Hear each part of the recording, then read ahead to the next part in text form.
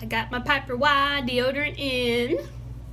It's pretty small. It is smaller than, for some reason, than I was expecting. Maybe it's probably because I'm just not used to like a jar of deodorant. I'm used to like the rub-on kind.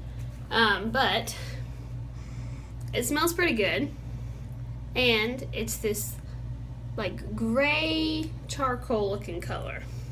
And I'm wearing black to show you that it doesn't show up on the black clothing like Dove would, for instance.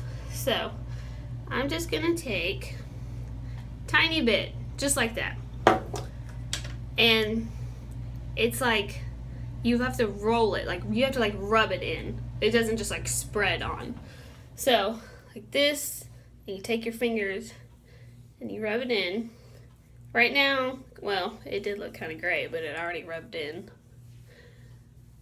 Get it really good. And that's pretty much it. And then you just kind of get a little pea-sized amount like that and do the same. So like this, look, see how it just sticks on there? I gotta rub it in. So it'll actually go into my skin, not just sit on top of it.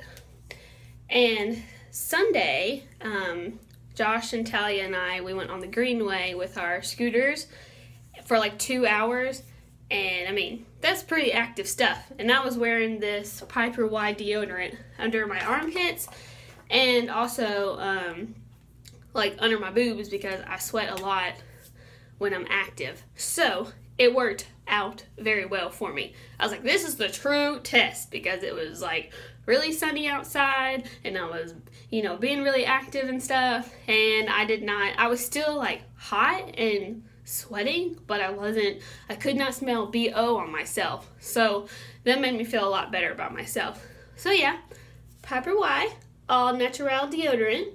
Um, Posh does not have this, so that is why I went to Piper Wai. You can, uh, let's see, what show were they on? Uh, Shark Tank. Yeah, you can look them up. They were on Shark Tank. They're pretty cool. I think there was these two girls that just decided to make this in their own kitchen and then became a business. So that's pretty cool. And that is my lovely review on the Piper Wai. Oh yeah, also I meant to show you. Okay. Boom! No white. It's translucent. Can't even tell. Okay, that's it. Bye.